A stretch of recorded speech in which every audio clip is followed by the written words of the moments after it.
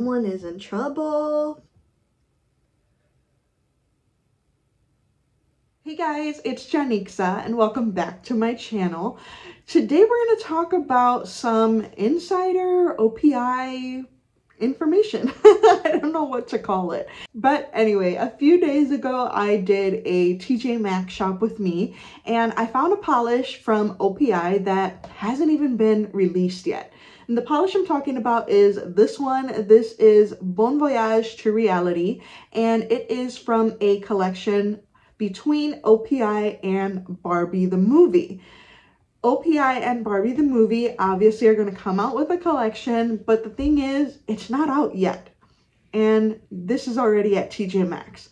That doesn't make sense. Usually when polishes are available at TJ Maxx, it means that they have already been available for purchase at other retailers like Ulta, for at least a few weeks. So when I saw this polish at TJ Maxx, I was very surprised. I picked it up. There was a few of these, but all of them were the same color. I did pick it up for $4.99. Initially, I thought that maybe TJ Maxx had made a mistake and had put these polishes out too early, but I was actually sent a message by one of OPI's distributors. I'm not going to mention which one, but they sent me a message and just asked me for some information. And in return, they gave me some information, which I'm going to share with you now.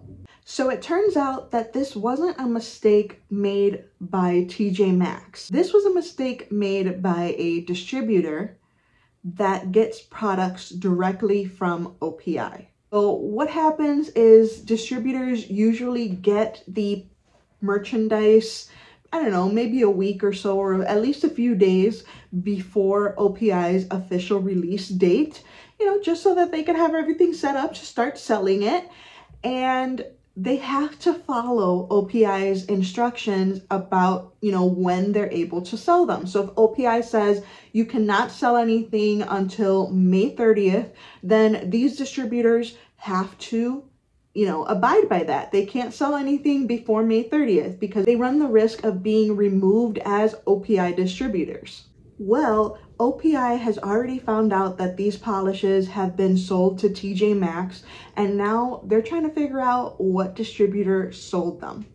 See, the reason that this is a problem is because OPI has contracts in place with Mattel, you know, the Barbie people. They have contracts in place, and in those contracts, it specifically says when these polishes can be made available for purchase or can be released. So the fact that a distributor has already released them could potentially damage the relationship between OPI and Mattel and also could hurt OPI in the future when they're trying to do other collaborations with other brands or companies. So as you can imagine, OPI is trying to figure out what distributor did this and I was thinking, okay, if they figure out what distributor did it, then what happens next? Well, what happens is they could receive a warning from OPI and then they may still be able to stay on as distributors, but OPI will most likely not send them their collections in advance. So they would have to wait until the actual release date to even have their stuff shipped out, which means that other distributors will be ahead of them and who knows, it can potentially cost them sales. I just thought all of this was really interesting. I don't know if you're like me, but I like to know the little details that go on in, you know, the back end of, of the nail polish industry. It's just really interesting to me. And finding this out was actually kind of a lot of fun. So you're probably wondering how is OPI going to figure out what distributor sold these bottles to TJ Maxx? Well, OPI actually has a pretty good tracking system. So if you get an OPI bottle and you look kind of on the side right here is where mine is, there is actually a code on the bottle.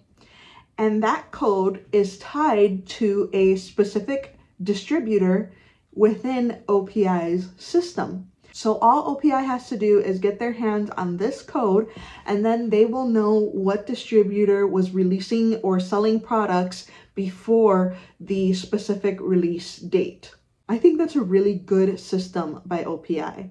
I was told that they do this because sometimes OPI polishes might be sold in places where they're not supposed to be sold. So what they might do is send someone over to buy a bottle just so that they can see what that code says and then they will know who is distributing their products to places where they're not supposed to be.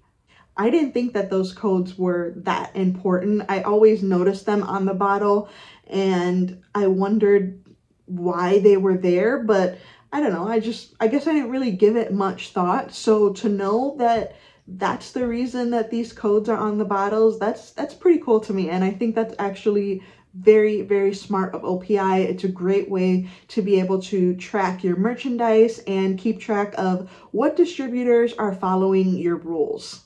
Alright guys, that's all the tea I have for today. Let me know if you thought this video was fun and let me know if you're like me and you like knowing these details. I would love to talk about it in the comments down below with you. That's it for this video guys. Thank you so much for watching. Please subscribe to my channel if you haven't already and I will see you in my next video. Bye guys!